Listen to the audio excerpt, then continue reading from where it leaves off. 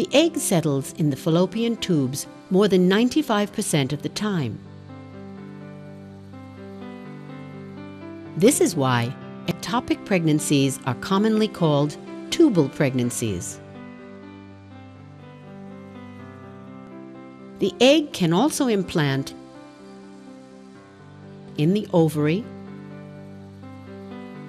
abdomen, or the cervix. So you may see these referred to as cervical or abdominal pregnancies. None of these areas has as much space or nurturing tissue as a uterus for a pregnancy to develop. Hence, as the fetus grows at these sites, it will eventually burst the organ that contains it. This can cause severe bleeding and endanger the mother's life. Therefore, a classical ectopic pregnancy never develops into a live birth.